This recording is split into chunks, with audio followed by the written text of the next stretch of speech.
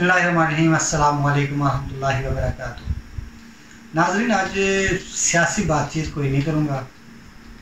और आज कहीं घुमाने फिराने भी नहीं ले जा रहा। आज मैं बात करूँगा सेहत की। आपकी सेहत की, अपनी सेहत की, आपके बच्चों के सेहत की और अपने बच्चों की सेहत की। नाजरीन हर घर में ईद अजहा के दिनों में गोश्त के साथ सबसे ज़्यादा इस्तेमाल होने वाली चीज़ है वो कोक है, स्प्राइट है, सेवन अप है, इस तरह की चीज़ें हैं। हर बंदा इन चीज़ों का बेदरेग इस्तेमाल करता है। लेकिन अब ये इतला मिली है कि ये चीज़ें इंसानी सेहत के लिए इंतहाई ख़तरनाक हैं। और ये बात कोई इनके मुकाबले की कंपनी नहीं कर रही, बल्कि डब्ल्यू एच ओ आलमी अदारा सेहत इसका इंकशाफ कर रहा है। और अब इस पर शिद्दत से जो है ना, वो मुतालबा किया जा रहा है कि कोक पे और उसके अलावा जो बबल्स हैं, उन पे पाबंदी लगाई जाए। अब सवाल ये है कि पाबंदी क्यों लगाई जाए? तो इस हवाले से जो डब्ल्यू एच ओ का है international agency for research on cancer ने चंद दिनों के बाद एक फ़ैसला करना है और वो फ़ैसला अकवा मुतहदा तक पहुँचाना है कि जो अस्पार्टियम है, एक मरकब जो कोक में और बबल्स में इस्तेमाल होता है। अमूमन तो कहा जाता है कि ये शुगर फ्री होता है, इससे कोई नुकसान नहीं होता, इसके महसूस नहीं होता।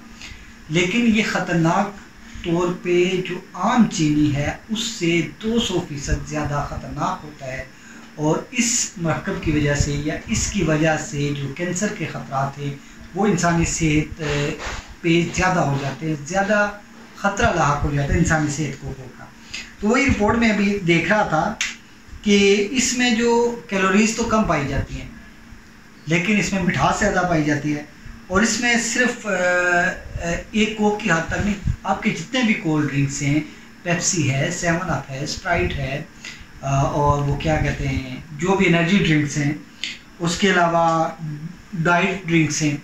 हम कहते हैं, यार डाइट ड्रिंक ले आओ। वो भी ख़तरनाक है। चुविंगम है और बाज़ात ख़तरनाक हद तक आपके घरों में जो आप बाज़ार से दही लाते हैं ना, इस दही में भी ये स्पार्टियम का इस्तेमाल किया जाता है। अब जो सबसे ज़्यादा जिन मसनूआत में ये स्पार्टियम पाया जाता है, उनमें डाइट कोक है, कोक ज़ीरो है, पेप्सी मैक्स है और सेवन अप फ्री शामिल है। और इसके अलावा ये सिर्फ़ यही नहीं, बल्कि 600 से ज़्यादा प्रोडक्ट्स हैं जिनके अंदर ये पाया जाता है, ये अज्जा पाए जाते हैं। और ये सिर्फ़ एक आध बात नहीं की, की गई है। इसमें तेरह सौ के करीब रिसर्चेज की गई हैं मुख्तलिफ़ जायज़े लिए गए हैं और इन जायज़ों के बाद ये रिपोर्ट जो है ना सामने आई है। अब इससे जो स्पार्टियम है इससे सिर्फ़ कैंसर ही नहीं होता बल्कि इससे आपको टाइप टू शुगर हो, हो सकती है दिल के अमराज हो सकते हैं और उसके अलावा कम उम्र में आपकी अमवात के हवाले से भी ख़तरा बढ़ जाते हैं। और अब हम लोग ना अक्सर हमारे लोग होते हैं जो दोस्त हैं, कहते हैं, यार, मेरा ना मोटापा बढ़ रहा है, यार, मैं डाइटिंग पे हूँ। मैंने ना ये कोक शोक नहीं भेजा मेरे लिए डाइट कोक लिया तो अभी फरवरी में जो आलमी अदारा से था उसने कहा कि भाई, आम कोक की नस्बत जो डाइट कोक है, वो 200 फ़ीसद, तीन सौ फ़ीसद ज़्यादा ख़तरनाक है, वो ज़्यादा मीठी होती है। तो इसलिए ये जो मार्केटिंग है या कंपनीज़ के जो दावे किए जाते हैं, दावों पे मत जाएँ। अपनी सेहत का ख्याल रखें और कोशिश करें कि ये एनर्जी ड्रिंक से या दूसरी ड्रिंक से इनसे बचा जा सके और पानी का इस्तेमाल करें। उसके अलावा जो आपके देसी मशरूबात हैं, उनका इस्तेमाल करें और ये जो बड़ी बड़ी कंपनी के मशरूबात, जहाँ आपकी जेब पे बारी होते हैं वहीं आपकी सेहत के लिए भी ख़तरनाक होते हैं। और उम्मीद ये की जाती है कि डब्ल्यू एच ओ ज़ाहिर सी बात है आलमी दायरा सेहत है, वो भी कंपनीज़ के इसमें रहता है, दबाव में रहता है। तो वो कंपनीज़ को पाबंद करेगा कि वो स्पार्टियम का इस्तेमाल कम करें, जो एक तरह की जहरीली मिठास है, उसका इस्तेमाल ख़त्म कर दें।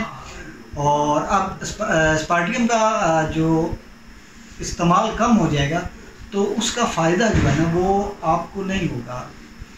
वो कंपनी इसकी बजाय ज़्यादा ख़तरनाक जहर ले आएगी।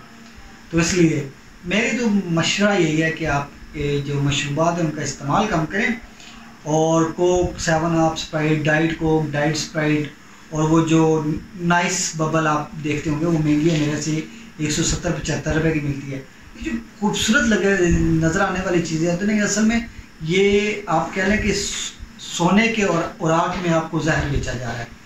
तो जहर से खुद भी बचें और अपने बच्चों को भी बचाएँ। मुझे दीजिए इजाज़त। अपना रखिएगा अल्लाह हाफ़